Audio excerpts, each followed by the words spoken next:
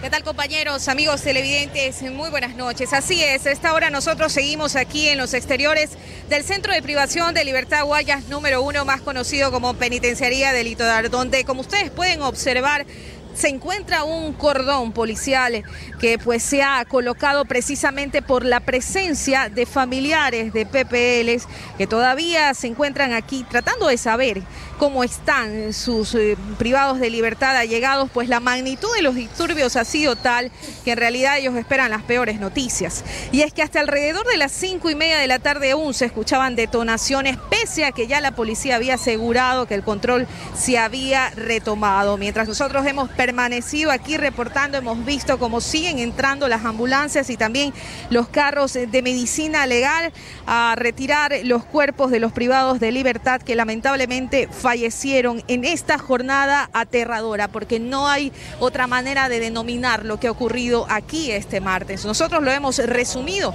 en el siguiente reportaje. Veamos. Violento episodio más se vivió la mañana y tarde de este martes en la penitenciaría del litoral. Nuevamente hubo enfrentamientos entre bandas. Pasadas las 9 de la mañana, el penal se convirtió en un verdadero campo de batalla. Un sinnúmero de detonaciones de armas de fuego y explosivos se escuchaban. Hubo reos a los que incluso se los vio subidos en el techo. En los exteriores, el terror y la desesperación embargaban. Pues hasta en los negocios que se encuentran en las inmediaciones del centro carcelario, casquillos de balas perdidas se encontraron. Todo comenzó cuando PPLs de los pabellones 8 y 9, donde están recluidos los integrantes de las bandas Los Lobos y los Tiguerones, intentaron ingresar a los pabellones 5, 10 y 12, donde están los Chone Killers. Miembros de los grupos tácticos de la Policía Nacional empezaron a llegar para intentar restablecer el orden, pero el primer intento no lo pudieron lograr. Hora y media después se volvieron a escuchar disparos. Ya para entonces las ambulancias habían llegado, pero no pudieron ingresar porque los disturbios no estaban controlados. Pasado el mediodía, el ambiente seguía igual. Policías entrando, militares resguardando, paramédicos esperando y las vías cerradas al tránsito. Cerca de las 2 de la tarde, más detonaciones, aunque eran esporádicas. Minutos después pudieron entrar las ambulancias y hora y media más tarde, los carros de medicina legal.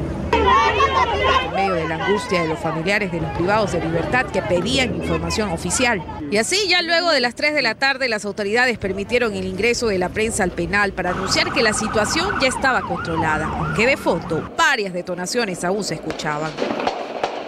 Se logró, junto con más de 400 efectivos, retomar el control y la seguridad total e integral de este sistema penitenciario, específicamente la penitenciaría del litoral. Ingresamos al interior del, del Cerece y fuimos tomando posesión de los diferentes pabellones que estaban amotinados. Fue entonces cuando empezaron a constatar la cantidad de decesos que las riñas dejaron. Es decir, que se tomó el mando de los pabellones 1, el 3, donde ahí tenemos cuatro falle eh, cinco fallecidos. Posterior ingresamos al pabellón número 5, donde fue el más violento. El momento que ingresamos encontramos aproximadamente 19 eh, eh, cadáveres eh, por impacto de proyectil de arma de fuego y también por granadas. En total tenemos 24 fallecidos y decapitados tenemos 5. Además de 48 PPLs heridos, algunos de gravedad. Hasta el cierre de este reportaje continuaban las requisas en los pabellones a cargo de la Policía Nacional. Hay fusiles, pistolas, revólveres. El gobierno está empeñado en mejorar la tecnología de punta para poner en los cereces, entonces vamos a esperar que eso se incremente para poder impedir que se ingresen armas de fuego. Es lo que les puedo informar desde acá, donde todavía continúan entrando y saliendo ambulancias y también carros de medicina legal y familiares que están a la espera de conocer cómo se encuentran los privados de libertad. Continúan ustedes en estudios con más noticias. Muy buenas noches.